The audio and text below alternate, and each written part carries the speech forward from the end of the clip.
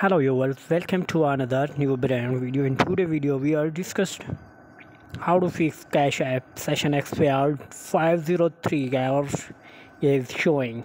How to fix this issue. Before starting the video please subscribe my channel and press the bell icon for latest notifications. So let's start. Wasting any your time.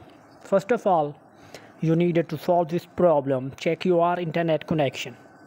If your internet connection is weak for a few seconds turn on airplane mode and now after 20 or 30 seconds now once again disable and move back to your mobile screen.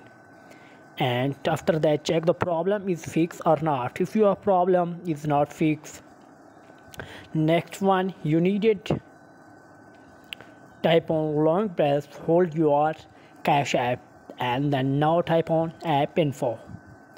And type on storage clear cache now so clear all data before clear it after clear all data once again check your problem is fixed or not. If your problem is not fixed after all this process clear all data and check the internet connection. So simply check the server.